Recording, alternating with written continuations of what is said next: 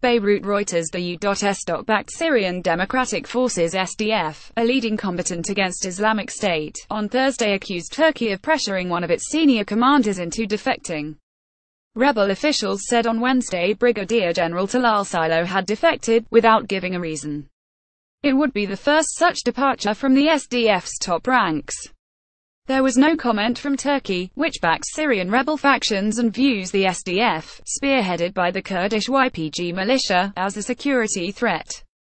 Silo served as a spokesman for the SDF, an alliance of mostly Kurdish and Arab militias battling Islamic State in Syria with the help of the US-led coalition. The SDF said in a statement they had lost contact with Silo, who had resigned from his post. General Talal Silo was respected and appreciated among our ranks, it said. He was subjected to a lot of pressure and extortion from the side of the Turkish state, that amounted at some points to threatening his sons who are in Turkey. We believe his disappearance is the result of a special operation by Turkish intelligence in collusion with some of his family members.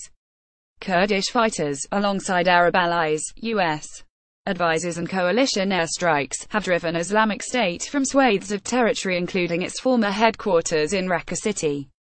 The YPG and its allies have carved out autonomous cantons in the north, and now control nearly a quarter of Syria. Their influence angers neighboring Turkey, which considers the YPG an extension of the banned Kurdistan Workers' Party, which has fought a decades-long insurgency on Turkish soil. The US-led coalition had said it was aware of reports of Talal Silo's apparent departure from the SDF but have no further details on his current status at this time. Our forces will not be affected by this incident, and we will inform the public of the results of our investigation, the SDF said on Thursday. Reporting by Ellen Francis editing by Andrew Roche Standards to Thomson Reuters Trust Principles